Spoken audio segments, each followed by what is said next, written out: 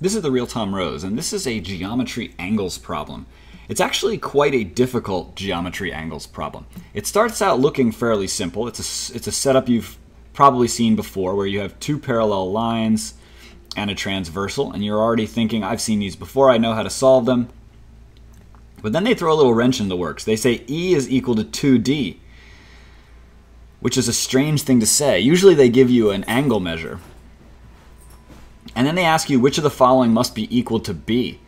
So you have some given information and you're asked to find something. So this is kind of a hybrid question. Um, we've been given E equals 2D and we've been asked to find B. And as, a, as we've seen before, it's possible for you to simplify either side of these, either the given or the find, but we need to, we need to get to a match at some point. Um, what I've What's going to be helpful here is let's start putting things down on the diagram that we know to be true. And I'm going to try to translate these into, um, into B. We've been asked to find B. So let's label everything that we know which is equal to B. Um, so B is obviously B. Um, any angles that are opposite on a crisscross must have the same measure. So D is actually equal to B. And then when you have two parallel lines cut by a transversal, all corresponding angles have the same measure. A corresponding angle is an angle which is in the same place on the cross. So we have two sets of crosses. The upper right one will have the same measure. So this is also B. And similarly again, this will be B for the same reason. It's the lower left angle, which we know is the same as the lower left. So there's actually four angles which measure B. And now let's start labeling some of the other angles. Um,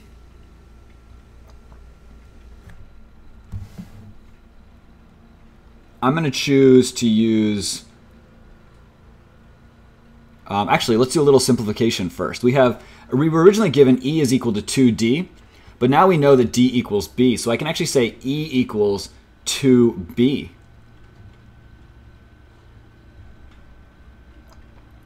Now we're starting to get somewhere. I can actually solve for B if I want.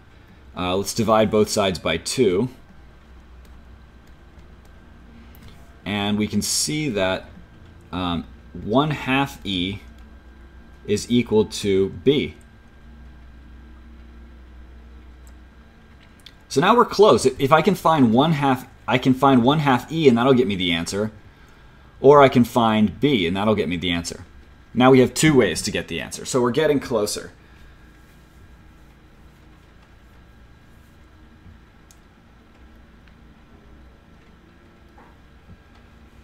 Um, another thing you may want to do is take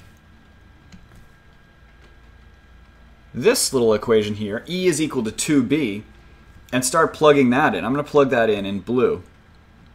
We have an E, so I'm going to put in 2B for it. Opposite angles are the same, so that's 2B. Then use the corresponding angles rule. Lower right is 2B, so lower right will be 2B. Upper left is 2B, so upper left will be 2B.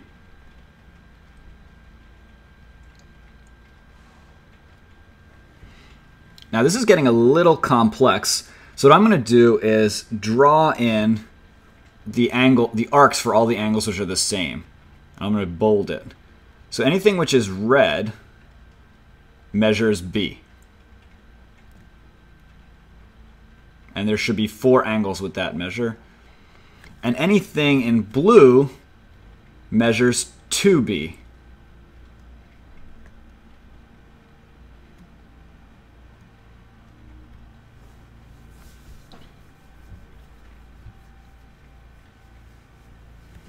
And down here, we're now looking for which answer choice has a measure equal to B. Well, we can start plugging these in. Everything's in terms of B, so um, B, answer choice A will be B plus C. Angle C is the lower right one, which we know is 2B, so that equals 3B. Um, 3D, D is the lower left angle on the bottom, which is equal to b. So this will be 3b, 3b.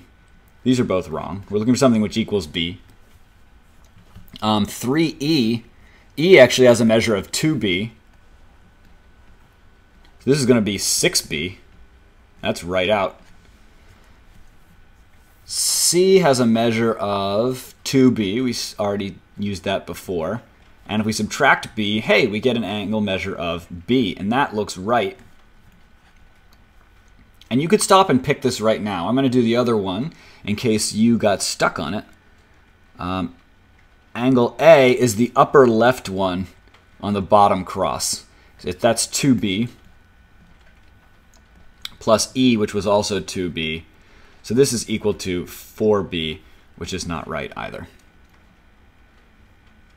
So you're seeing there's many many ways to skin this cat. Um, one way that works is converting everything into a known variable. Um, you could also simplify what's given or simplify what you found. Or I'm going to show you another little trick you could use, which is you could actually go over to num all numbers. So here we have 1 half e equals b, but you'll notice that e and b sum to, to be 180 because they split this line. So I drew a blue arc. So the sum of these two angles must be 180. Sum of angles equals 180 across a line. So we can do the sum of those angles, which is E plus B equals 180.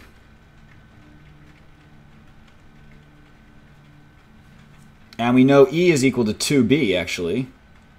So if I plug that in, I'll get 2B plus B equals 180. Or 3B equals 180. Or B equals 60. And now we actually have the measure of B. And you can plug that in here to get the measure of E. E must be 120. And once you've turned it into numbers, you could easily plug in everything and get numbers. I'm not going to go through all the numbers again. I just plugged in variables here, but you could try plugging in 60 everywhere that you have a B right here. And that'll get you the numerical values. And that would be an alternative. I think it's longer, but it could work as well.